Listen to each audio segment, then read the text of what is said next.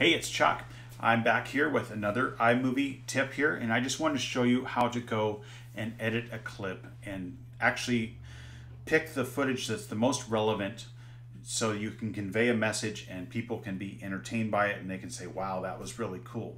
So it's not just one continuous thing and we're not watching like 20 minutes of of nothing. So I'm going to show you real quickly here. Just uh, follow along. So here down on this clip here, we're getting on the tilt-a-whirl. So I'm going to do some uh, establishing shot here. So I'm going to take my finger here on my track mouse and I'm just going to drag that. Let me get myself maybe like 4.5 seconds, okay?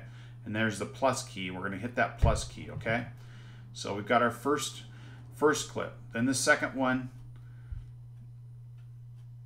that's us waiting to get on the ride, but that's loss of motion. So if you want motion and continuous motion, just go through here. We're going to wait till we uh, get going on the ride.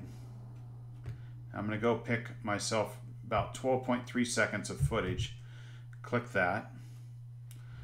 And then, so we're not doing an entire minute on the ride. Then we'll go further in the ride, just scrub through here, see what's going on, and then grab another, say maybe 14 seconds, hit the plus key again, okay? So now if we scroll through this whole thing, we've got our, we've got our establishing shot. There we go. Now we're on the ride. of